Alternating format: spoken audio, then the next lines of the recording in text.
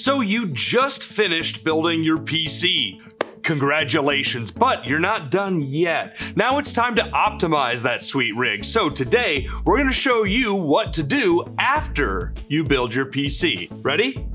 Let's get to it. And if you're just starting out your build, we have some amazing Intel Core Ultra 7 265K CPU and Z890 motherboard combos in the link below, or by going to newegg.com forward slash Intel Spring Upgrade. Not only can you save up to $100 when you combo these high performance components, but you also receive Star Wars Outlaws Gold Edition and the Intel Builders Bundle Gift, Civilization 7 and Assassin's Creed Shadows for free. First up, one of the most common mistakes is to plug your monitor into the wrong port on your PC. You want to make sure you connect your monitor to the GPU itself not to the motherboard. The motherboard port is only for integrated graphics on the CPU. Now for the Windows installation. We highly recommend buying a Windows USB drive. Once you boot your PC with the drive inserted in the back of your PC, you'll be launched right into the Windows setup. Since there will have been Windows updates since your Windows USB drive was manufactured,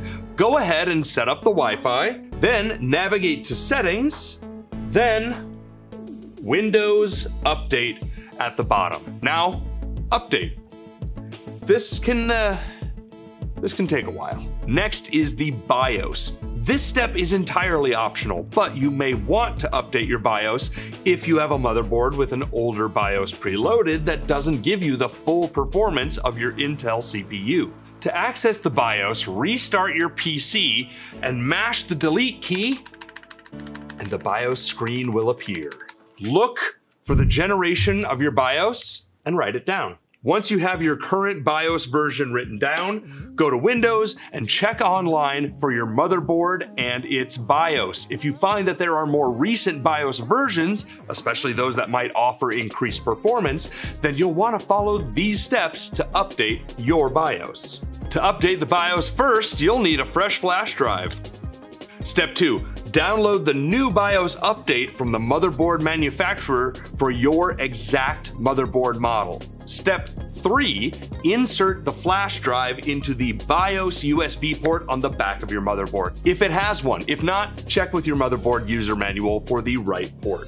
Step 4, format your flash drive to FAT32 within Windows. This can be done by right-clicking on the drive and then selecting Format. Step 5, put the new BIOS on your fresh flash drive. Step 6, reboot your computer and access the BIOS. Step 7, navigate to the BIOS update area in the BIOS. You might need to select something like advanced mode to find it. Step 8, back up your current BIOS using the UEFI tool in the BIOS. It'll back up to the flash drive which you can then use if you ever want to revert to a previous version. Step 9, use the same update tool to update to your new BIOS. The PC will then update your BIOS. Step 10, do not turn off your PC. This is super important because if your PC loses power, it could permanently damage your motherboard. Step 11, once the BIOS is upgraded, restart your PC and you're done. You can check to see if you have the new BIOS either in the BIOS itself or by checking system information on your PC. Now, we're getting to overclocking. If you have an Intel CPU with a K in the name, then your CPU is unlocked and you can overclock.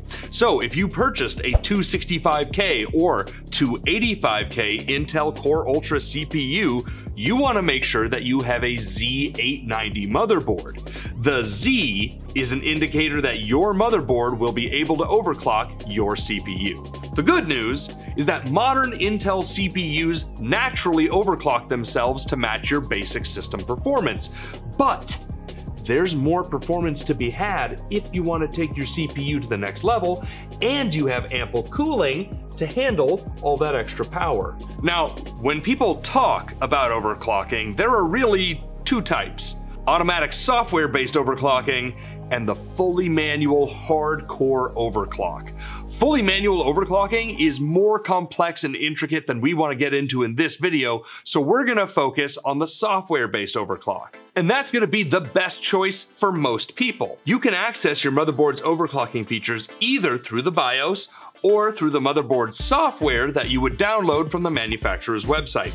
This software is worth downloading for its additional features, though most people like overclocking just through the BIOS. Now, each motherboard manufacturer has different names for their auto overclocking software, so check with the user manual before diving in. Once there, you'll be able to select the overclocking program that will run your system through numerous stress tests and reboots in order to find the absolute max performance that your system can handle. If you experience system shutdowns during normal usage, you can always go back into the BIOS and select a different mode or turn off overclock entirely. These shutdowns might happen if your cooling isn't able to handle the additional power running through your CPU. Now we reach how to overclock your RAM which sounds more difficult than it really is. If you bought fancy RAM with higher speeds, which is a lot of the RAM that's available on the market right now, then it's made to reach those higher speeds with a simple setting switch. This setting is called XMP.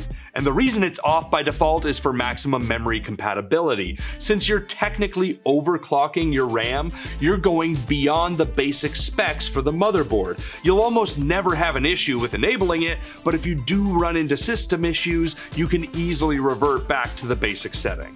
To enable XMP, all you have to do is go back into your BIOS by hitting the delete key at startup and navigate to the memory overclocking area.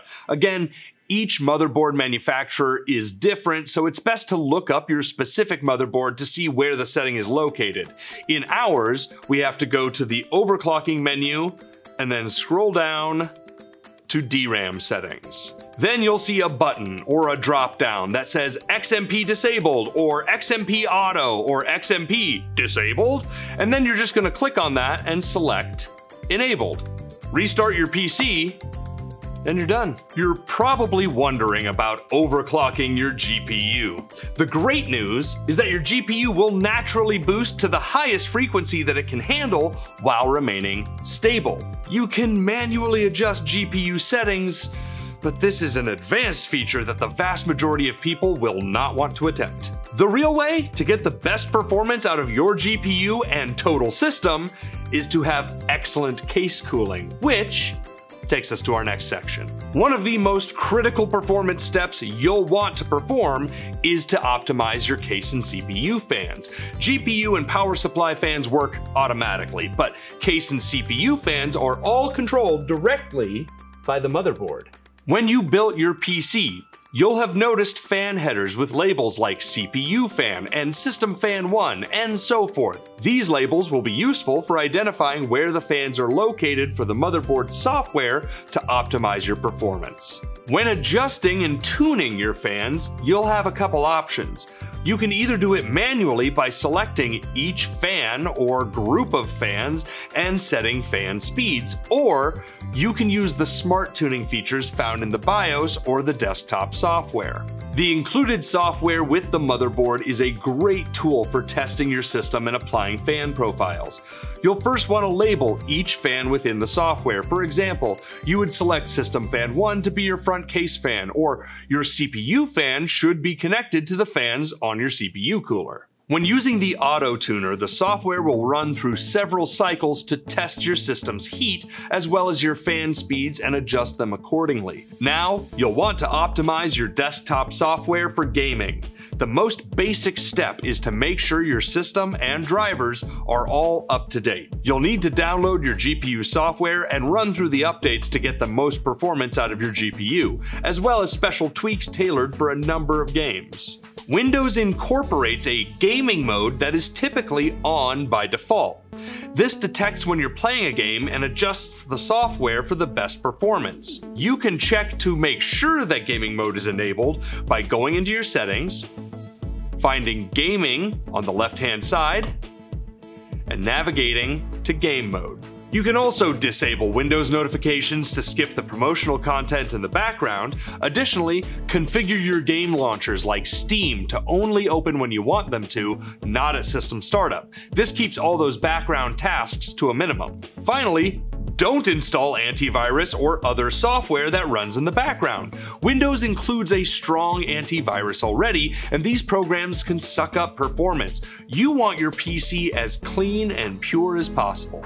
That's it. Now you have a fully optimized PC that will get you the most performance your system can provide. Remember to check out newegg.com forward slash Intel Spring Upgrade in the description to get a great deal on an Intel Core Ultra 7 265K CPU and Z890 motherboard combo. With savings up to $100 plus Star Wars Outlaws Gold Edition and the Intel Builders Bundle gift, Civilization 7 and Assassin's Creed Shadows absolutely free.